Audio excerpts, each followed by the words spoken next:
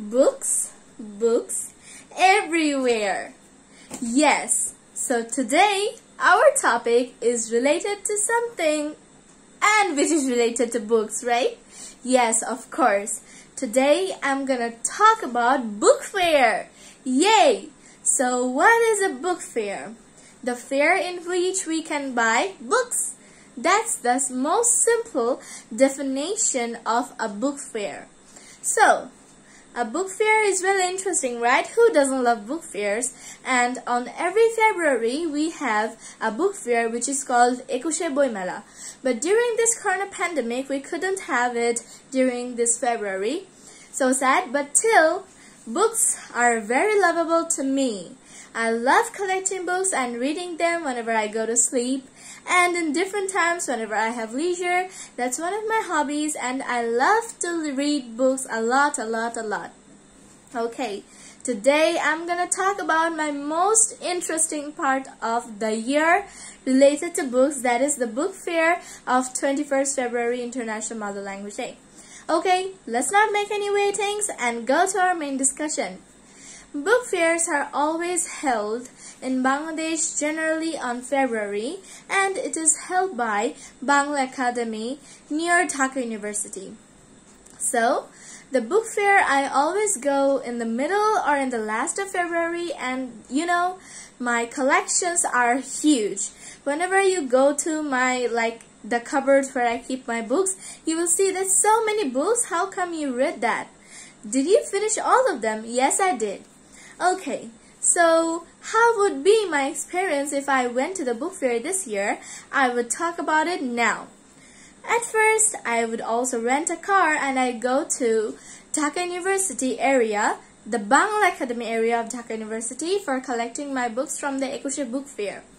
Then I would go through the line and the song Amar Bhai Rangano Ekushe February will be played because it is always played so inshallah this year it will also be played. I was expecting so. So I will walk like a rally and I will enter the book fair with my father, my mother and of course my elder sister. And when I enter the book fair, I feel really fresh that I have come to a place which is full of knowledge, which is full of fun and amazement. And for, at first, the book stalls which I prefer are Shomoy and like Jingeful and also many stalls I go, but you should guess some of them. I am keeping it a secret. No problem, yeah. In this case, whose books I love to read the most? Of course, Jafar Iqbal sir, Humayun Ahmed, and Ahsan Habib, and Shamsur Rahman, and of course, of course, of course, Selina Sultana. Her books are also very lovable to me and I have read about her when I was in like grade 4. Okay, let's move forward. Now, when I enter the book fair, I go to different stalls for buying books. But before that, before going to the book fair, the most interesting part is I make lists. I make lists that what kind of books should I buy this year. I see on the internet that what kind of books are available, what new books are there, and I make lists that I want to buy those books, and I get a budget that I want books from this budget.